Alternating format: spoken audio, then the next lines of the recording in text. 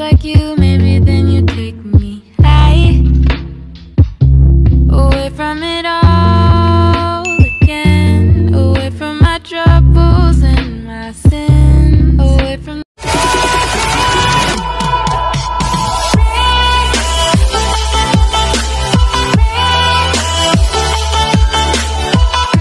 So good morning guys! So magluluto tayo ngayon ng easy um, chicken nuggets um, from Sky Flakes and egg.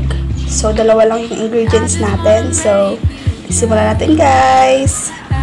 So, first step natin gagawin guys ay dudurugin natin ang Sky Flakes. Wala akong panduro guys, kaya ito na lang yung nakita kong alternative na panduro. So, pwede nyo yun guys ito. So, durugin ko muna siya. So, ito na yung itsura guys ng natin sa grapes. So, ilalagay natin siya sa bowl. So, ayan na yung itsura niya guys. So, ayan na yung itsura niya guys. So, ilalagay natin ang ating itlog. Ayan yung itlog. Dalawa siya. Ilalagay na natin siya.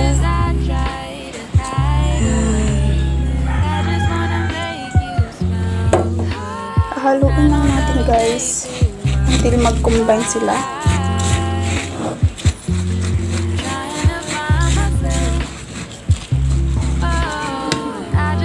Then don't forget to add salt guys.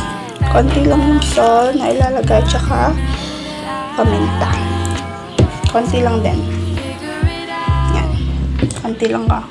So, eto na yung itsura niya guys. So, ready to cook na siya. Let's go. Cook na tayo. So, ayun guys. Start na tayo magluto.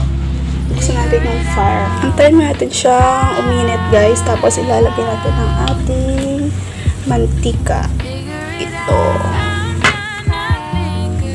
Masarap to guys. Lalo na ngayon na um, pwede yung, yung mga ulam na pinapadala sa atin ay sardinas. Pwede nyo siyang gawan ng twist itong um, Skyflakes ay binigay lang din sa akin ng barangay. Relief goods rin siya. So, ayun. Okay na yan. Painitin lang muna natin yung So, kung nakikita nyo guys, parang chicharon lang, no? Pero nuggets, nuggets yan guys. Kasi siyang nuggets. So, ayun yung itsura niya. So, pwede to sa mga bata. Ngayon, nag-crave ng nuggets na um, hindi sila nakakabili. So, egg lang tsaka skyflakes. Pwede na, guys. So, ayan. Malapit na siyang maluto, guys. Ayan. Sobrang sarap. Nyo din siya, guys, sa bahay nyo. Sarap nito. Healthy. Luto na guys. Look. Sarap.